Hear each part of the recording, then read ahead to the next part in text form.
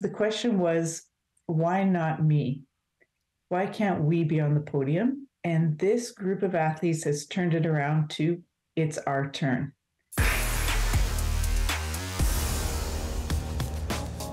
Okay, well, the World Para Championships less than two weeks away. Perfect time to speak to para performance lead Carla Nicholls, who joins us now on Athletics North. Thanks so much for doing this, Carla. I appreciate it. Oh, thanks for the invite. Well, let's start right there. World Championships, like I said, less than two weeks away. Even as media, we get excited for this. I, I don't know how the athletes do. For these championships, it's, it's different, Rob. There's an excitement, but there's also a level of confidence this team has never had before. It's been a fantastic year and a half. These guys, especially the top eights in the worlds, have really concentrated on how they can improve their performance gaps against the rest of the world. When we entered these past two years, the question was, why not me? Why can't we be on the podium? And this group of athletes has turned it around to it's our turn. We're ready. We're going to fight like crazy. Everything we do is going to be quality. They've just uh, really turned it around. I'm super excited for them.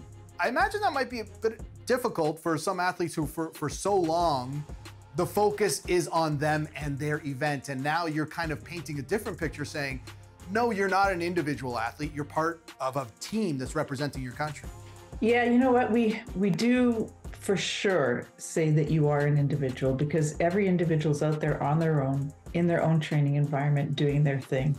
Um, but it's what they do collectively and their approach and how they hold each other accountable is really what's put this team another step forwards.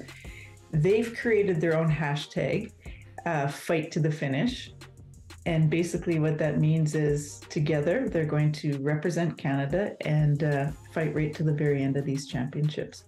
Carl, I want to shift gears a little bit. As you and I discussed off the air, I had a chance to speak to Jesse Zesseu, and you know what an incredible story his is. You look at just how he didn't even necessarily even know he was a para athlete at one point of his life. The way it is right now, I, it has to be done in an aggressive manner in terms of just getting getting the information out there, uh, not succinctly, but more so just just as much as possible to the point where it becomes a mainstream thing, where just pumping out like getting out the knowledge, getting out the facts of the T11 to T12, T20, T30, T T whatever in terms of track and field, uh, getting out that information on the daily or on the weekly or on the monthly, not just every four years, not just every other year, um, will really do that to the point where actually people know. And kids like me will find out about this when they're 12, not when they're 21. Do you think the para sport world is doing enough right now to kind of educate the fans and let them know exactly what they're watching and in turn have the popularity, you know, rise? Are we doing enough? No, we're never doing enough. Jesse's absolutely right. We have to be able to speak the language every day. Um, and any, any opportunity that we have to educate the public, educate families, educate coaches, and educate our own sport about Paralympics and the classification piece and what that means. Athletics Canada has actually hired our own classification lead, and her responsibility, her number one responsibility, is to guide athletes, coaches, and families about classification and to help them through that whole process. We just need to keep talking about it, and as much as we can educate the public, the more enjoyable watching the Paralympic Games is going to be. And I truly believe more athletes are going to join Paralympics or para athletics when they understand a little bit more about it. Carla, thanks so much for doing this. Really appreciate your time. I guarantee this is not the last time we're going to be speaking to you. Uh, so enjoy the World Championships. We'll talk to you soon. Awesome. Thank you so much.